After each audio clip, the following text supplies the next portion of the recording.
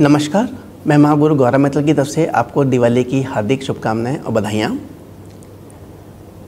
जैसा कि हम मानते हैं, जानते हैं कि दिवाली इसलिए मनाया जाता है कि राम सीता सहित, लक्ष्मण सहित, अयोध्या वापस आए थे, रावण की लंका को दहन करके और उनके आने की खुशी में ये पर्व अयोध्या वासियों ने दीपक जलाकर, जैसा कि पहला कभी नहीं हुआ था, इस तरीके से दीपक जलाकर उनका स्वागत किया था।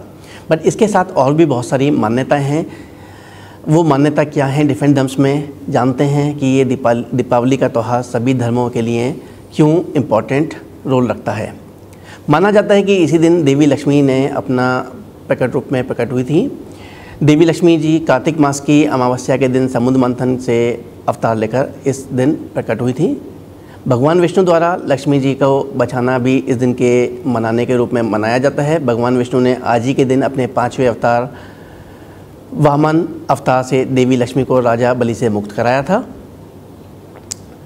तीसरा जो मत है वो है कि इस दिन नरकासुर का जो वध किशन द्वारा किया गया था इस दिन भगवान किशन ने राक्षसों के राक्ष, राजा नरकासुर का वध करके उनके चंगुल से सोलह हज़ार जो गोपियाँ थीं उनको मुक्त कराया था। इसी खुशी में दीपावली का त्यौहार दो दिन तक मनाया गया था।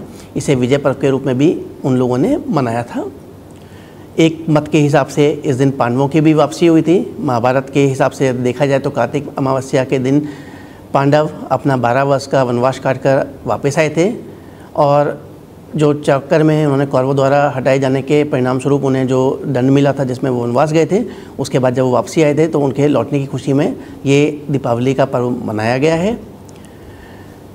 जो इम्पोर्टेंट मत और जो हमेशा से सुनते आए हैं वो कि राम की रावण पे विजय।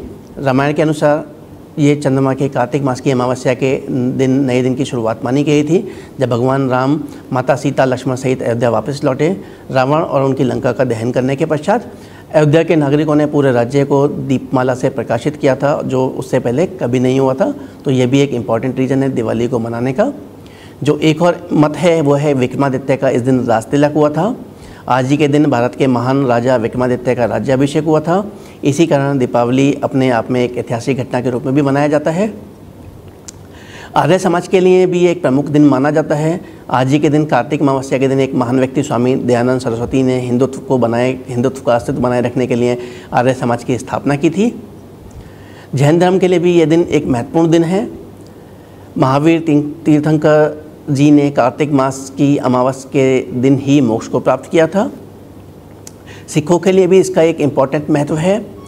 तीसरे सिख गुरु अमरदास जी ने लाल पुत्र दिवस के रूप में इस दिन को, लाल पत्र दिवस के रूप में इसको, दिवस को मनाया जाता है, जहाँ पे सभी श्रद्धालु गुरु से आशीर्वाद लेने पहुँचे थे।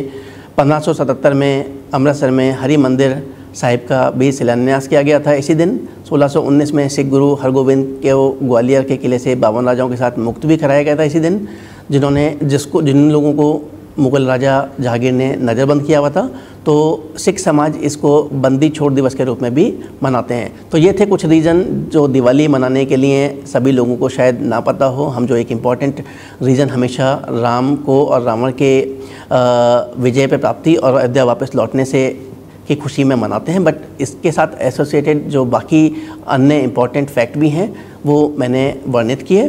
इन्हीं शुभकामनाओं के साथ दिवाली आप सभी लोगों के लिए शुभकारी रहे। आने वाला वर्ष आप लोगों के लिए सभी के लिए एक अच्छा वर्ष रहे। मैं महागुरु गौरव, नमस्कार।